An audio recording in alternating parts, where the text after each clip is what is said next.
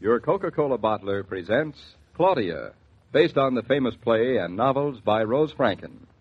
Brought to you transcribed Monday through Friday by your friendly neighbor who bottles Coca Cola. Relax, and while you're listening, refresh yourself. Have a Coke. And now, Claudia.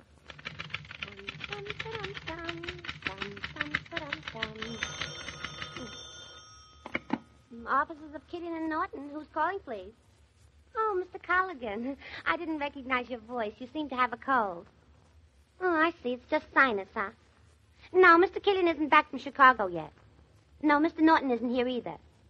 No, he hasn't got nothing wrong with him. He's just married and healthy and gonna have a baby. That's the life. sure, maybe I'll try that one of these days, too. You're the limit, Mr. Colligan. Okie dokie. No message then. Look, if it's anything important, I can reach Mr. Naughton. He's only up in his country place working on the freight terminal plans. Uh, That's why I don't like to disturb him unless it's absolutely necessary. Mm, Okay. I'll just tell him that the cement contract is okay. Yeah, on our terms. Nice to talk to you, Mr. Colligan. Sure. Mm, Okay. Mm, Okie dokie. Goodbye now. Lottie, what Oh. would you do if okay and okie dokie hadn't been invented in the English language? Oh, Mr. Naughton, I didn't hear you come in. Gee, I didn't expect you this morning. Gosh, you scared me. How long you been standing there anyhow? Well, long enough to realize what a jewel you are, Lottie. Yeah, I know. Finish it. I'm a jewel, the kind that's a diamond in the rough. Okay, so I never had a college education. you don't need it, Lottie. You don't need it. Mm, I'd like to talk better for Mr. Killian's sake. I mean, anything less than perfect isn't good enough for him. Lottie, here's a little secret. Mr. Killian's devoted to you. Okie dokies and all. Oh, gee, I'm certainly glad to hear that, because I'm certainly crazy about him, too. He scares me pink. Because of his manners, you think he disapproves of you, but underneath he sort of disapproves of himself. That's the way I dope it out. Well, you've doped it out as well as you handle that old battle axe, Colligan. Mm, I told him you wouldn't be in for another week or so. Say, what are you doing in New York? I brought Mrs. Naughton down in the car. The doctor wanted to see her for a final checkup. Oh, gee, how is she? Okay. She'll be along in a minute. She stopped off to do a little shopping. Mm, Gee, you look great, Mr. Naughton. All sunburned. Well, I took a couple of hours off from work yesterday and went trout fishing. Mm, How's it going? Fine, fine. They're running fine. I mean the freight terminal, not the trout. Oh, oh, the freight terminal. The freight terminal's okay. oh, gee, you're the limit, Mr. Naughton. That's another thing wrong with Mr. Killian. He don't know how to joke with people. And he's all tied up, like in a knot. You you sort of feel sorry for him. Say, I hope there's nothing wrong with his son. He's sure crazy about that boy of his, even though he don't show it. what do you mean, Lottie? About there being something wrong with his son? Oh, I'm not saying there is. They didn't say there was either. They just wanted to reach Mr. Killian. Who wanted to reach him? The school. The headmaster of the school up in Massachusetts someplace. Oh. And I said Mr. Killian was in Chicago, so he said he'd phone Mrs. Killian. Well, was that all, all he said? Mm, that's all. Mm, I guess it's just measles or chicken pox. They're always having epidemics in those prep schools. Yeah, possibly. I think I'll telephone Mrs. Killian to find out if anything's wrong. Oh, I phoned her already. I wanted to make sure she got the message. And did she? Fat chance. The hotel said she'd gone off someplace. Some political shindig, if you ask me. Don't she ever stay home and things like other women, I mean? Just act normal? Hmm. Trouble is, I guess, she hasn't got a home.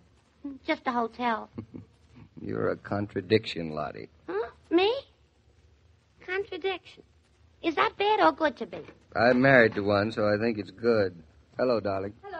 Hello. Did you get your shopping done? Nope. Stores were jammed, so I said, oh, for heaven's sakes, easier to do without. and cheaper, too. Hello, Lottie. Mm, Hello, Mrs. Naughton. Gee, you look fine. You both do. What do you mean we both do?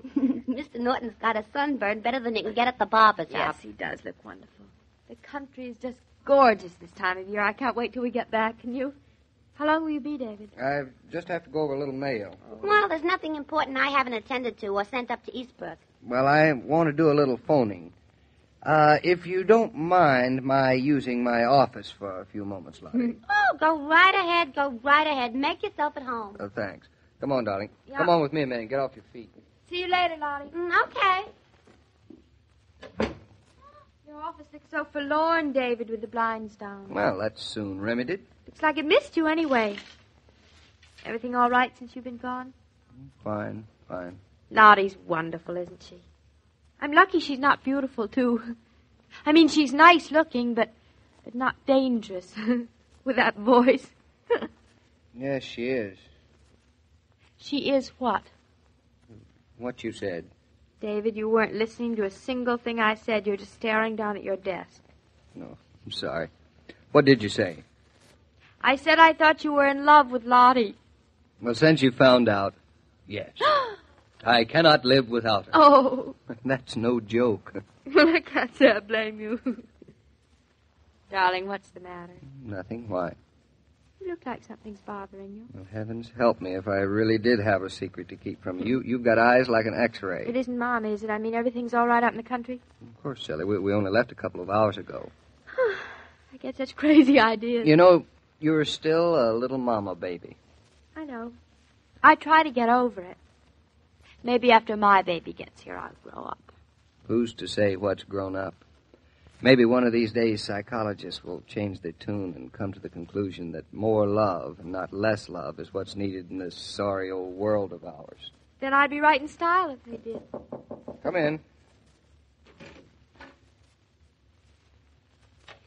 It's only me. Jeffrey Killian's outside. Well, That's a relief. Roger's son? Yes, I'm glad to say it is Roger's son. He was what was worrying me. Uh, send him in, Lottie. He doesn't want to see you. He just asked for his father, and when I said he was in Chicago, he said never mind, he'd leave him a note. That's what he's doing now, writing a note to his father. Gee, Mr. Naughton, that kid looks awful, and it ain't measles. If you ask me, the school telephoned because he's in some sort of trouble. Oh, nonsense, Lottie. It's the end of the exam period. All the all kids look tired out. Mm, Maybe, but it ain't that kind of tiredness. He's white around the gills, and his mouth looks all tight. Looks like he's lost weight, too. You're a cheerful one. Well, just see that he doesn't leave. Now, I'll, I'll be there in a minute. And no matter what I say or do, play along with me. Mm, Sure thing. I got you. Right. Okie dokie. What is all this about Jeff? I don't know yet. But I think Lottie isn't too far from the truth. Roger's been upset about him, I know that much. He's made two or three trips back and forth to the school in the past few weeks. I know. The youngster's been in some sort of an emotional tangle. Roger hated to leave for Chicago. What about Mrs. Killian? After all, if Jeff is in a jam of some sort, he's got his mother to go to. His mother's away. Oh, then the poor boy's here alone. Maybe we could take him up to the farm with us. That's exactly what I'd like to do, darling. How wonderful. But I have a feeling it's not going to be an easy thing to wangle. Say, maybe you could manage him better alone, David. You know, sort of man to man. Why don't I wait in Roger's office?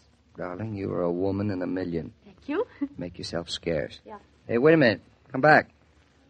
Where Well, we put him. Mother's in the guest room. In the nursery. Only don't tell him it's the nursery. It'd hurt his pride. Call me when you're ready. Can you pull up the blinds in Roger's room by yourself? What do you think I am? Uh, Lottie, take a letter, will you? Mm, Okay. Well, well, Jeff, I, I forgot it was the end of the term. Come in. Come in. Great to see you. I was just leaving, sir. I won't bother you. I'll. Oh, no bother. Well, well, you've, you've put on a couple of good inches since I saw you at Easter. You must be easy six foot, huh? Five foot eleven and a half, sir. That's near enough. Come on in the office and have a chat, Jeff. Mrs. Naughton's using your father's room to do some No, telephoning. no really, sir. I. Your father ought to be back at the end of the week. Hope it isn't too hot in Chicago. Here, my office is a lot cooler. I don't know how Lottie stands the heat in this cubbyhole of hers. Mm, I don't mind it.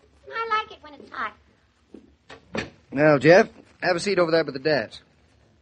Cigarette? No, thank you, sir. Home for good? School's over early this year, isn't it? It isn't over for another ten days. Now, look here, as long as your father's out of town, and I believe your mother's away too, isn't she? Yes, she's away. I went to the hotel. She's away. Well, that's our good luck.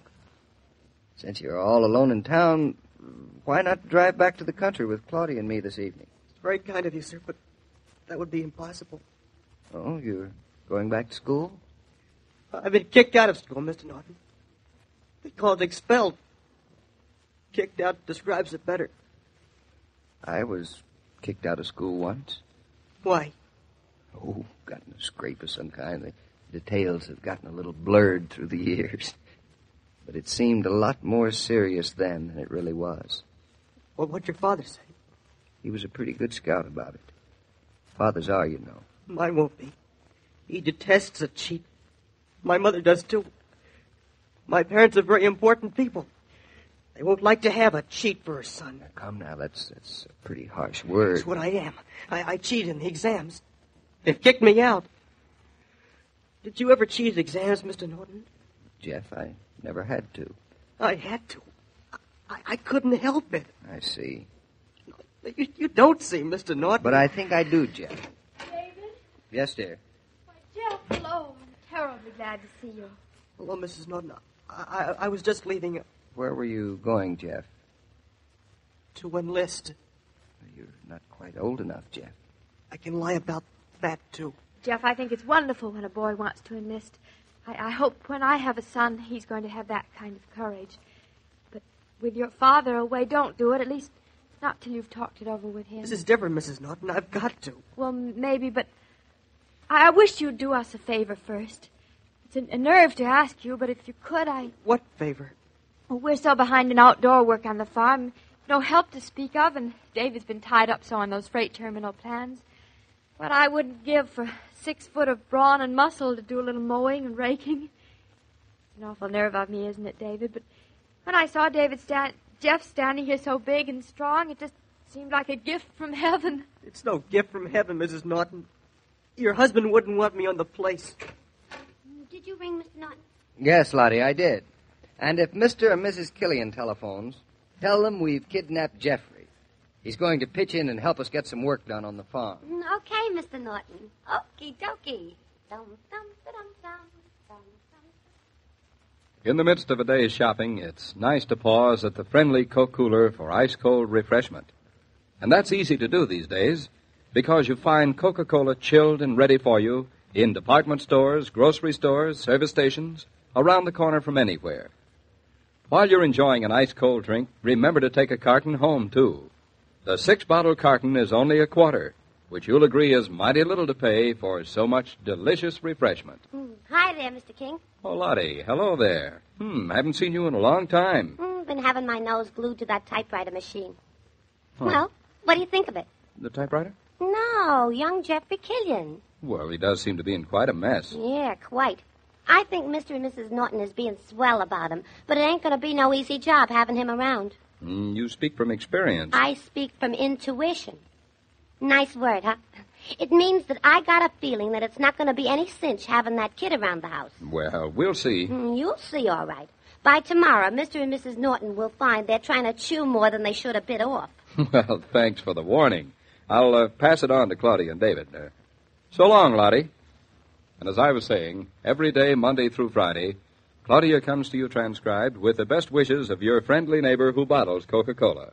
So listen again tomorrow at the same time.